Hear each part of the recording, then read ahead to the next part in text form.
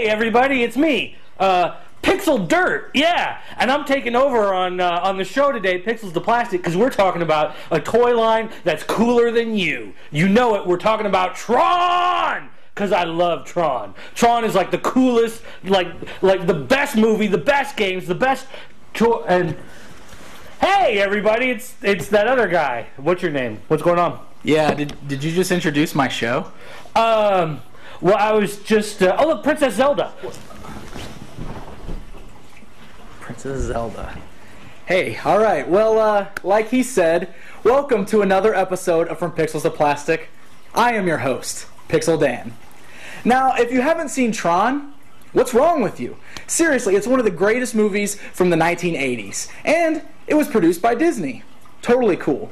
Now, the cool thing about the movie is that it actually spawned an arcade game that became probably more popular than the movie. But anyway, that's enough about that. If you want to see more about Tron, I would suggest checking out John D's review of Tron at RetrowareTV.com. Because what we're here to talk about today for real are the Tron action figures. Toys! Yeah, Tron! I love them. Let's do it!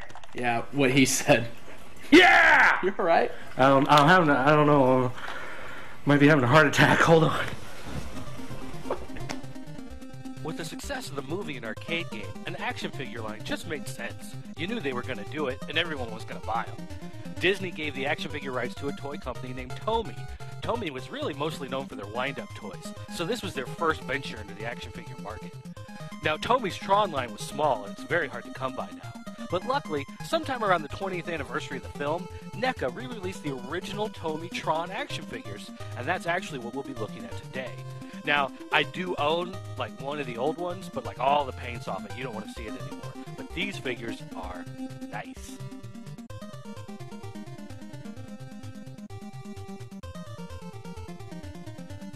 NECA reissued the figures, and they were identical in every way to the original Tomy figures. The only difference is in the packaging. However, NECA did release variants of the packaging that resembled the original Tomy boxes. Just like the figures, these boxes are completely identical to the Tomy version, with the only difference being the company name in the lower corner.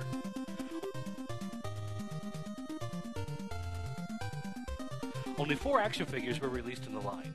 You had Tron, Flynn, Sark, and a Warrior. The figures were made from translucent plastic with painted on details in an attempt to capture the unique look of the characters from the films. Since Flynn and Tron were so similar looking, with the only difference in the sculpts being their torsos, Tron was actually made of a purple plastic, while Flynn was made of blue plastic. The two villains, Sark and the Warrior, of course, were made of red plastic. Now, each figure came with glow in the dark accessories. Sark, Flynn, and Tron all came with their data disc. They actually would glow in the dark too. They were pretty cool. And if you threw them really hard, you could hurt somebody, which is, I think, another reason why I liked them so much. Uh, you could also clip the discs onto their back with a small peg and hole. The Warrior had a different accessory. He had a staff instead. The line also included two vehicles. These were the famous light cycles. Probably one of my favorite parts of the entire movies is watching the light cycle races, so it was awesome to have one of these. In the original line, there were two cycles available, a red and a yellow. Now, I've got that yellow, and you can see it's pretty beat up and it's missing a lot of the paint and stuff, but I still love that thing. I'll, I'll probably be buried with it. In fact, they might actually put that in the casket and just toss my body out at sea. Now, NECA introduced a third light cycle, a blue one. So now you could have the red, the yellow, and the blue. You could crash them into each other. It was awesome. The figures could sit inside the cycles, and a zip cord allowed the cycle to launch off on its own.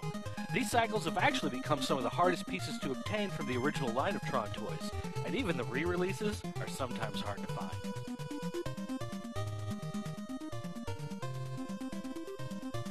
Now, in many ways, I guess I could really say that Tron is like my favorite movie of all time, and these toys are some of my favorite toys of all time, and the video games are just like my favorite video games of all time.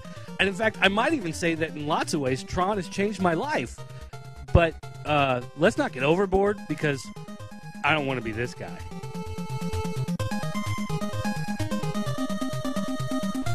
Hey, you know, you actually did a pretty good job with that episode.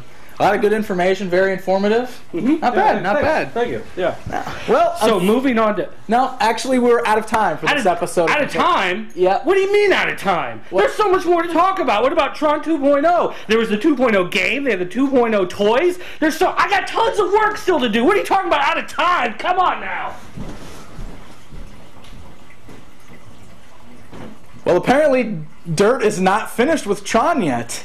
So, uh, I guess if you need to see more about Tron, then you should probably check out www.thatnewtoysmell.com this Friday. Until next time, I'm Pixel Dan. Take care, guys.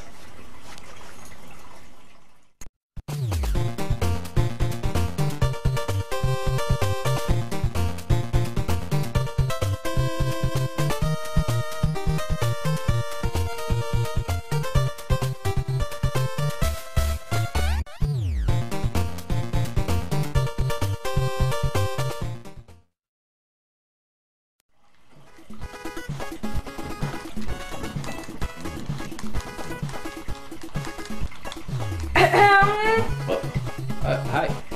You're gonna spend time with me now. You understand?